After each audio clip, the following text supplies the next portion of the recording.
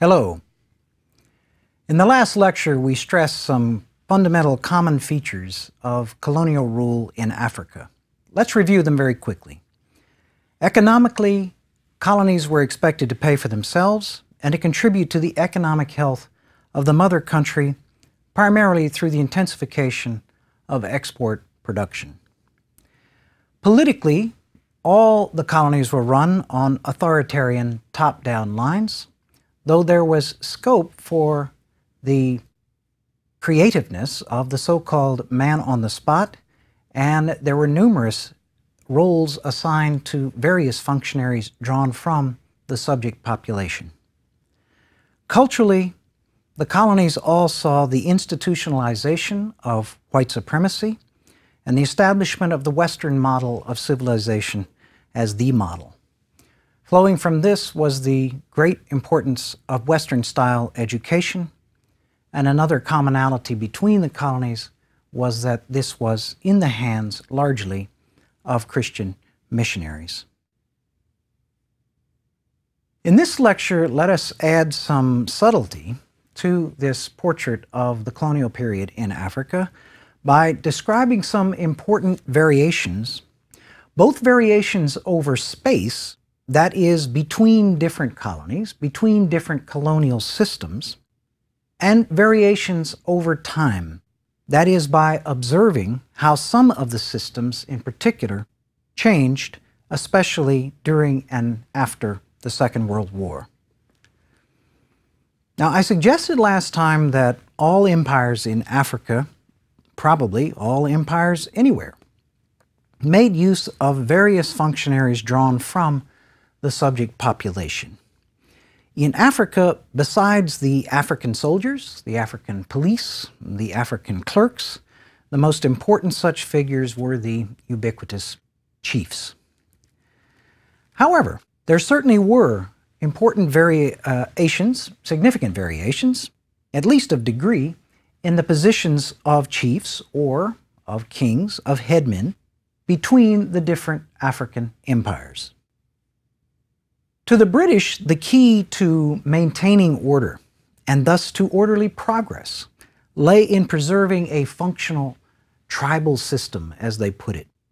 As one author has, has said, the British were particularly concerned to construct what he calls tribal boxes in which to contain, as it were, their diverse and multi ethnic populations.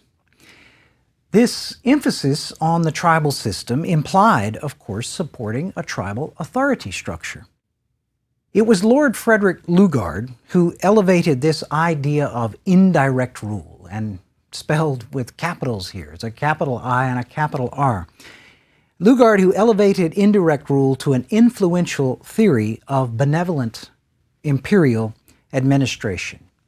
He did so primarily in his 1922 book, The Dual Mandate in Tropical Africa, the dual mandate representing uh, the notion that, yes, we're here for ourselves, but also uh, to improve and allow for progress amongst our colonized populations, hence the idea of benevolent imperial administration in his view. Now, Lugard's experience was largely in Uganda and especially in northern Nigeria. These are two places with elaborate royalties, with state structures, with bureaucracies which long predate the colonial imposition. In northern Nigeria, still today, we find enormous influence still wielded by the caliphs, the, the heads of the, the caliphates, the emirs, these very um, Islamic uh, flavored systems of statecraft and, and administration created at various times in preceding centuries uh, in that savannah belt. Here is where Lugard had his principal experience in Africa and where he forged a system which worked fairly efficiently in a place like northern Nigeria as it did in some parts of Uganda. Elsewhere, in the British Empire, despite this eventual devotion to indirect rule, in places where authority was more diffuse, where it was more elusive, indirect rule uh, was more problematic. In the extreme case, where we had what were in pre colonial times uh, stateless societies, uh, it, it degenerated to an almost humorous kind of game of what we might call find the chief. I can illustrate this from my own research, which has been based in southern Zambia, the home to the, the so called Tonga uh, peoples, the Tonga ethnic group. And the Tonga were an example of one of these traditionally acephalous, simply means headless or, or, or stateless peoples. They didn't have chiefs. They certainly didn't have kings.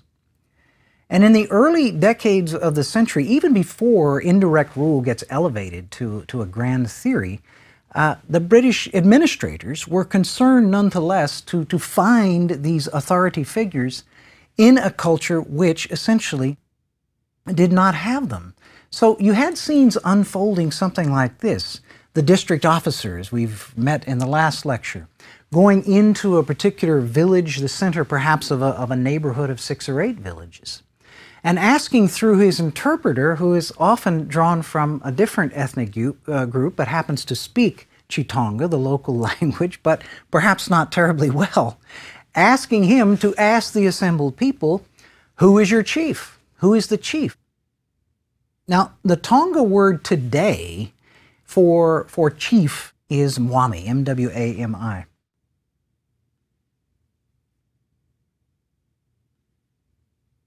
As I say, often translated, if you ask someone for the translation of Mwami today, you'll usually get chief and vice versa. But its original meaning actually was something closer to important person, big man.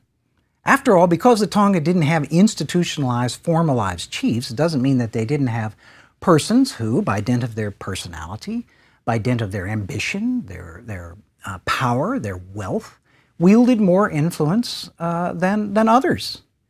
So the notion of the district officer asking, Who is your chief?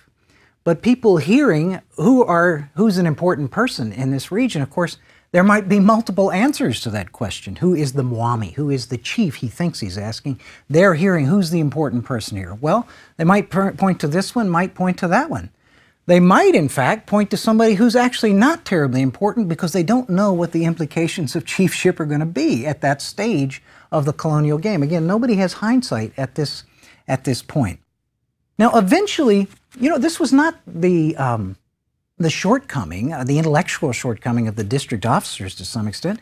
Many of these men uh, had very little understanding or conception, how would they, of, of stateless societies. They had grown up and were familiar only with state forms of organization. As the science of anthropology went forward and, and uh, analyses of, of stateless societies became uh, more available, in a lot of respects, the original error, if you like, in a place like the Tonga country was recognized. Let me quote from a district officer's journal written in 1936 in this very era, area I've been discussing, the Tonga region of southern Zambia. He said this As is the general rule throughout the Mazabuka Plateau, that's the Tonga country or part of it, certain big men have been appointed chiefs by government who were not so recognized before the advent of the white man. In very many cases, owing to the size of the district and the non existence of real chiefs, it was found necessary to pick out the most important man in a given area and call him a chief. In fact, this man was, in most cases, only primus inter pares, that is, the first among equals. And it is due to this fact that claims by other, only slightly less important men are still being advanced three three and a half decades into the colonial project. Now, the great anthropologist Elizabeth Colson, who was one of that group of, of, of anthropologists uh, I'm speaking of, echoes the last sentence. She said that for every man who thus became a chief in this very region, there were probably 10 who had an equally valid claim, since they or their ancestors had also been recognized as leaders of small groups of villages or as ritual leaders. Now, this did not mean, however, this recognition of statelessness as, as the indigenous reality did not lead to a dismantling of the indirect rule structures. By the 1930s, there's such, uh, the British are so wedded to the notion of indirect rule that, in fact, even by the very same officers I've just been quoting, we're seeing a strengthening of the structure of what they call the native authorities uh, at that at that point. Colson noted that at her time, which begins in the 1940s, that these chiefs, so-called, are accorded no particular respect or deference uh, more than, than anybody else.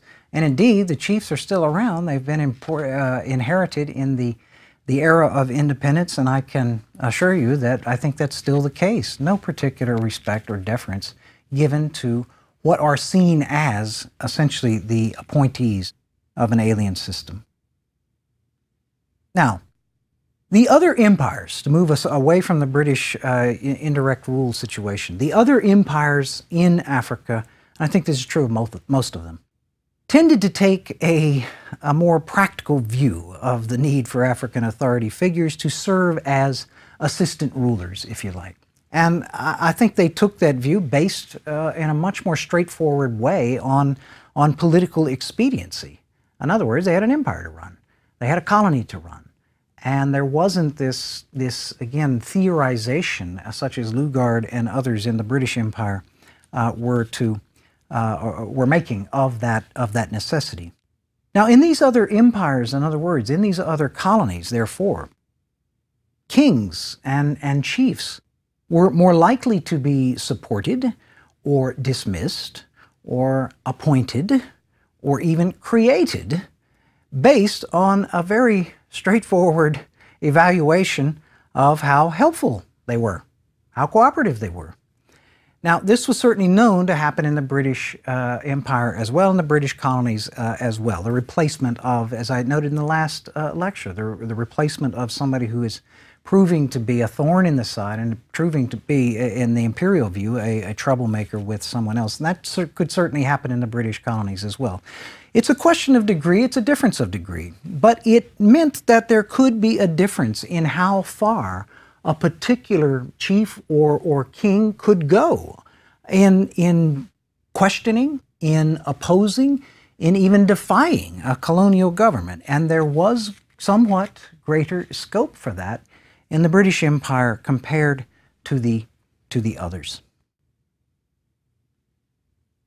Now, in some ways, the opposite side of the coin represented by the position of the traditional chief was the side of the coin represented by the educated native. I'm using a couple of uh, sort of key uh, phrases that come out of the colonial period.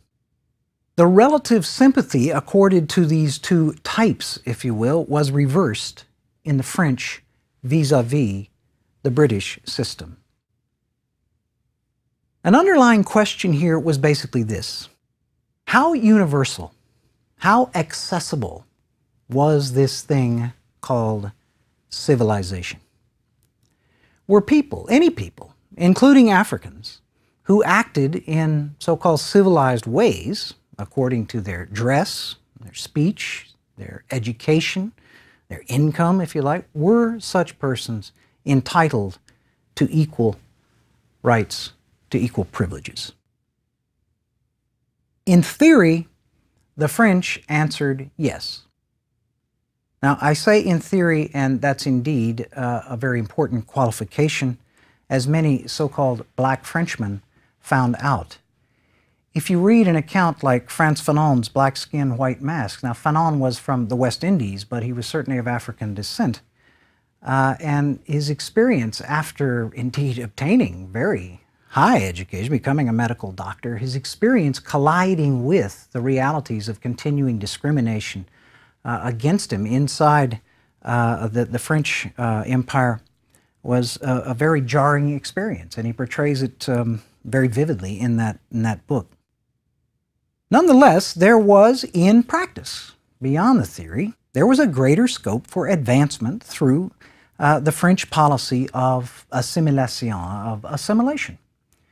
Uh, in other words, different scope given to the so-called educated native here under the French system different scope given to the so-called traditional chief under the British system.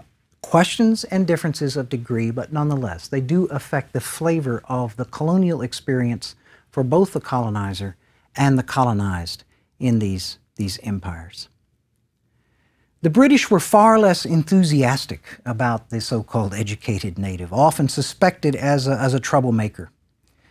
And here's a, a, telling indicator, I think, of this relative difference in, in degree.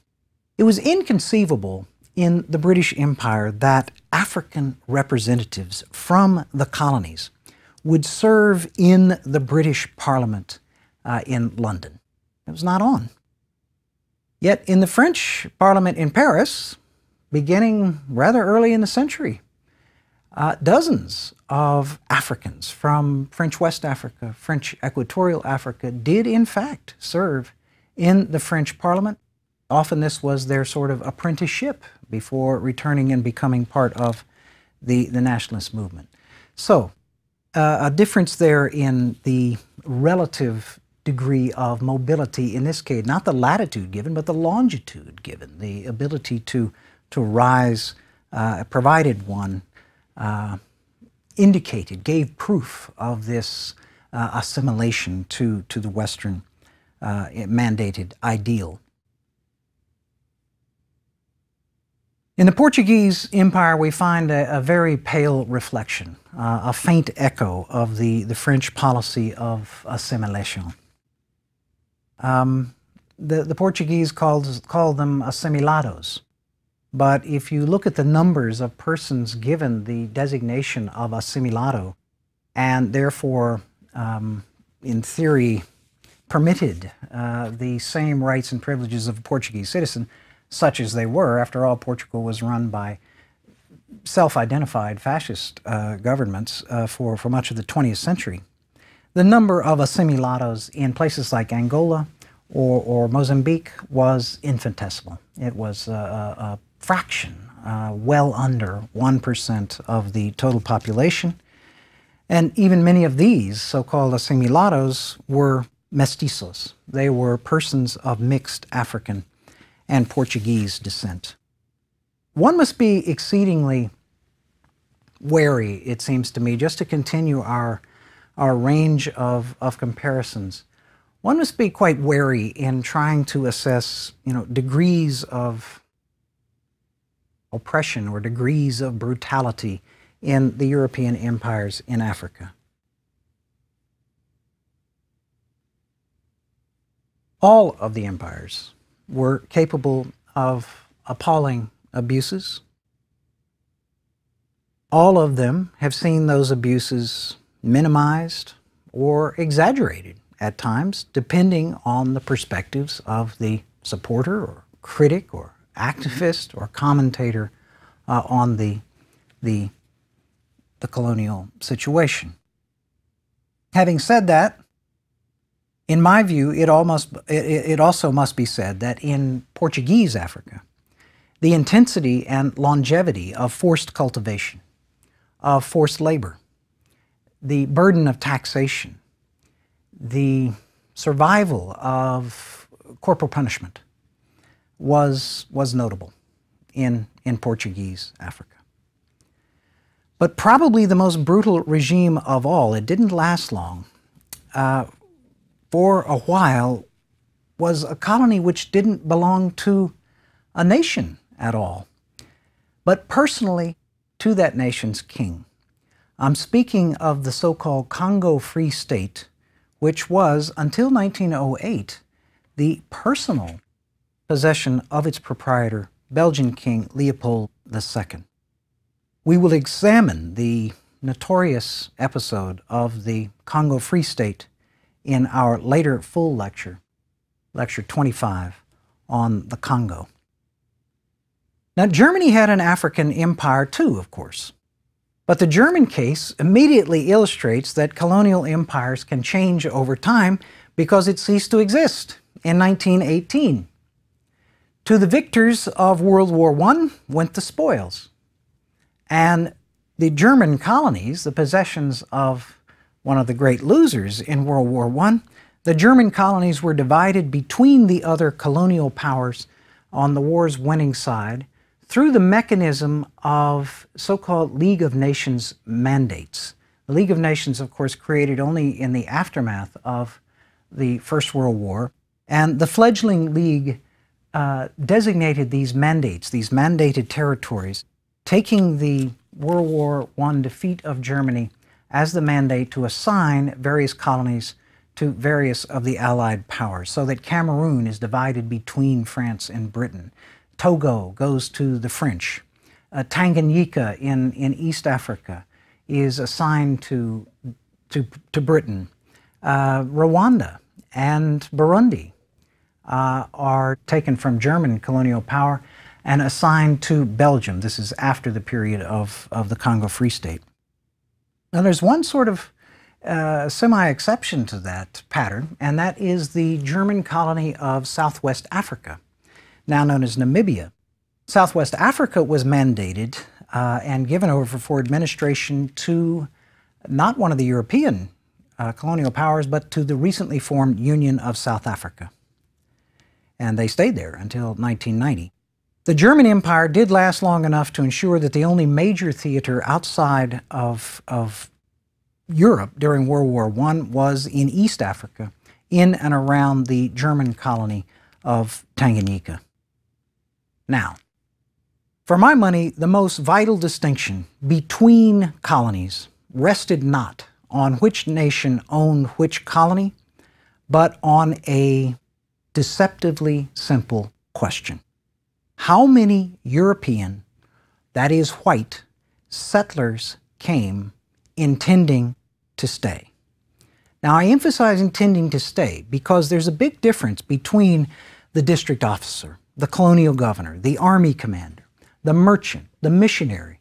In almost every case, those persons plan to go out to a colonial territory, spend a year or two or five or ten, in some cases 20 or more. But their ultimate objective is to retire back to the mother country, back to the, the, uh, the metropole. Settlers are a very different matter. They come intending to stay, intending for their children and children's children to stay, for their descendants to stay. Now, here we can enter a comparative note. Uh, if you take a longer view of colonialism, a place like Virginia or North Carolina or Pennsylvania or Massachusetts, in an earlier phase of empire, represented settler colonies, of course. Um, so I want to set up this dichotomy between settler colonies and non settler colonies. Now, it's a useful distinction for reasons I hope to make clear, although, of course, it's also a spectrum. There's a range of situations depending on how many settlers we're talking about. A substantial number of settlers coming to stay makes it a settler colony, although it's a judgment call on substantial. Let me add right here that in none of the settler colonies, as I will designate them, did the European uh, transplanted populations become an actual majority. So there's a difference between the United States situation, where, of course, European settlers did become the majority. In places uh, like South Africa, even, or Algeria, it lies outside of our purview because it's in North Africa, but the places that sustained the greatest numbers of, of European settlers, even there, they were uh, greatly outnumbered by uh, the indigenous peoples. Now, the settler colonies were concentrated in southern and eastern Africa, again, aside from Algeria. Uh, South Africa was clearly the granddaddy of the settler colonies in sub Saharan Africa. It had the longest history, it had the deepest entrenchment of European settlers, and we've looked at that history in some previous um, lectures. Southern Rhodesia, Southwest Africa, Angola, Mozambique, these certainly qualify as settler colonies, as I'm defining it. As to a lesser degree, do Kenya and northern Rhodesia. Those two are somewhat in the middle of that spectrum and on the, on the fence. Substantial number of, of white settlers, but not so many as the other cases I just, I just mentioned. Now, what difference did, did this make, this difference between settler and non-settler colonies? In day to day terms, the intensity and the frequency of what I can only call racial humiliations. The notion that uh, as an African, I have to get off the sidewalk if I see a, a, a, European, a white coming toward me. That as an African, I have to go around to the side of the butcher shop and be handed the meat I want to purchase without being able to see it through a, a small hole cut in the side of, of the wall. These kinds of things in settler colonies, at least in the areas within those settler colonies where the, the settler population was concentrated, these kinds of day to day humiliations uh, were multiplied. They were much greater than in the non settler ones. Now, the demands for labor, uh, excuse me, were, were far greater and more intense. They were more constant. But this, in turn, rested partly on the greatest impact of settler versus non settler of all. In settler colonies, people lost land. It's difficult to overestimate this consequence. And it's related to what I just said about uh, the, the demands for labor were greater. Of course, in settler colonies, there are more employers, uh, for one thing. But in settler colonies, after the colonial populations have lost land, they have very little alternative. They need wage employment because the alternative of production on their own land uh, is, is uh, an alternative which largely disappears with the appropriation of that land uh, by the settlers. So, without minimizing the impositions at all, the black man's burden, if I can put it that way, the burden uh, borne by ordinary Africans in colonial situations, the black man's burden in non settler colonies was comparatively lighter. African residents of Nigeria or Togo or Uganda may have lost their freedom, they may have lost their sovereignty, but they did not lose their land. And that made a big difference. Finally, as we'll see in later lectures, the difference between settler and non settler colonies will affect the decolonization process in very substantial ways as well. Now, let's turn to bring our lecture to a conclusion to change or, or differences not across space but over time. It's common to divide the colonial period in Africa into three principal phases the consolidation phase before World War I, the so called high colonial period between the world wars, and the third era leading to colonialism's end, beginning with the Second World War itself. Let me turn to this divide between the second and the third phase, between uh, or centering around the decade or so on either side of the Second World War. Uh, World War II affected Africa enormously. Something like a half million African soldiers served the Allied side overseas. They were critical in, in campaigns like Burma in, in southern Asia. But beyond that, the mobilization required for critical war materials, stuff like copper, hastened urbanization. It meant that more and more people were drawn into these export nexuses. The cities, as one description of, in colonial southern Rhodesia said, the cities heaved and groaned under their human load of more and more people uh, producing more and more feverishly because of the, the intensification of, of the need for these things uh, during, during wartime. France and Britain, eh, during the war and even after it, embarked on a substantially more serious uh, approach to development. There was a genuine increase in investment in education and in projects designed to benefit a wider range of the population.